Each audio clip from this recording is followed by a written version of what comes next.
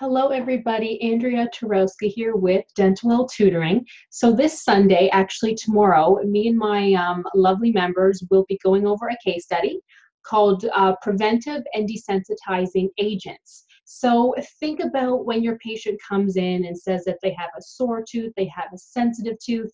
You, you need to know sort of what's causing that so you can not only tell them what's causing it, but you also have to know how to cure it or how to limit the symptoms or to help uh, prevent it from sort of happening in the first place. So we will be going over some case studies on that. I did um, upload a mock exam for my members in the private Facebook group on this topic about a week ago to sort of help um, prepare them. Plus they have a PowerPoint inside also to sort of reteach them the entire topic because I find in either the Darby and Walsh or the Wilkins um, or the Mosbys, I find that this chapter is quite slow and very, very boring. So it makes it a lot harder to study from, right? So what I have done is I have kind of taken all of those three textbooks and I've put them in my own PowerPoint to make it sound a lot more exciting, plus to only kind of tell you guys what you need to know on the topic. Um, but to make it even easier, we will be going over some case studies. So let me just kind of show you what that's about a little bit. So in our session for for my um, uh, for my members, we go over the case studies for about an hour, sometimes an hour and 15 minutes, depending on how many questions. So I'm just going to go over a few of them now for you and see how much you know about this topic. So, okay, so the first case study is um, Joe is a new patient, and his main concern is his tooth sensitivity. This happens all the time. Um, upon examination, you noticed um, generalized demineralized areas. What can be done at home to um, remineralize that enamel? So I'll let you guys think about the answers A, B, C, or D. And remember to pick apart each part of the question. If you're um, studying to take the board exam, sometimes they will have too much information in the question. Or other times you're probably thinking, well, they don't have enough information at all. How am I supposed to answer this? So you kind of have to pick apart the important info and not pay attention to the useless info. So I'm just going to help to pick apart this for you. So the first part is is that his main concern is tooth sensitivity. So you you, you have to be thinking already, okay, how is the tooth sensitive? Is it hot, cold, sweet, pressure? Well, it doesn't say. So you don't actually know how the teeth are sensitive because it doesn't say that in the case study.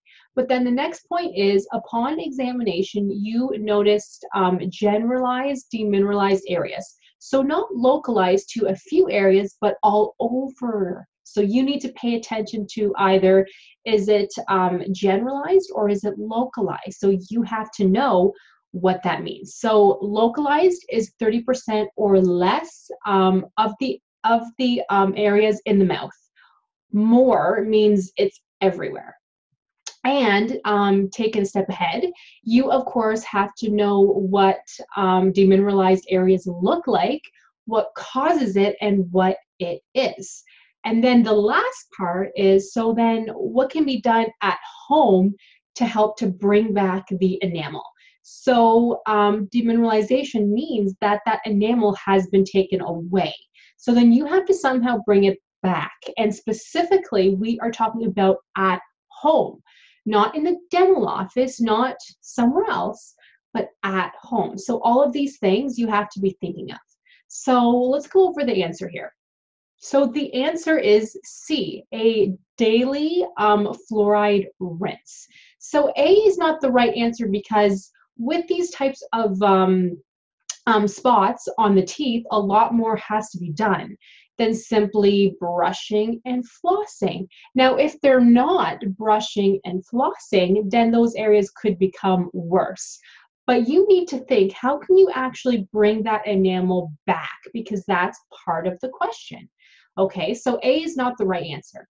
The second one, um, fluoride rinse in the office, is the correct answer, but it's not the best answer because specifically in the case study, I had said what can be done at home.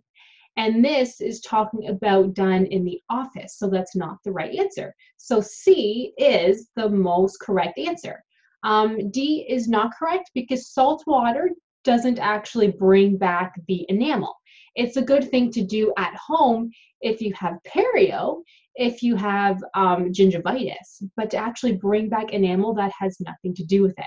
So C is the best answer. So see how you all have to always think outside the box. You have to know every part of the question, but an easy way to study is if you're reading the question and you're stuck, say, on the first part. So if you were reading the question and then saying to sensitivity, okay, so what different types of sensitivity could he have?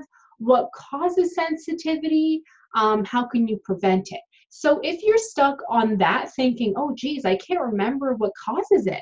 I can't remember what that might look like. I can't even remember how to prevent it then you need to make sure to head back to that chapter and reread it so you know more about sensitivity because um, case studies tend to be annoying for students when you try to go through the case studies first before you had a chance to actually study the material because if you do that you won't know anything and then you'll be saying to yourself, I didn't know this case study at all. I'm just horrible. There's no way that I'll be able to pass. Like, this is just, you know, awful.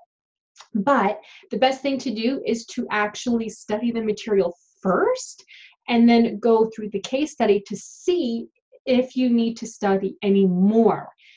If you happen to get all of the answers correct, then you know that you can move on to another topic. If you say, um, found a lot of the questions quite hard, then that tells you that you have to go back and study the topic again. So I'm just going to stop sharing my screen here. So I hope that that helped you guys a little bit. Um, if this is a topic that is hard for you, well, I am more than happy to help um, because if you are a member of either the um, Board Exam Prep Academy or the um, Dentalelle Student Program, we do the case studies live online every single Sunday on every single topic. So you will get sort of a little bit of practice at a time. So you don't have to always feel so um, stressed, so overwhelmed. Because if you try to do, say, 10 case studies in a day, you'll be quickly overwhelmed. You won't want to do any more. But doing a couple a week helps. Plus, I do upload new mock exams about twice a week too. So you will always have something to look at and take your time. There's no rush at all. So I hope that this helped a little bit. If you guys need help, let me know and I will see you guys next time.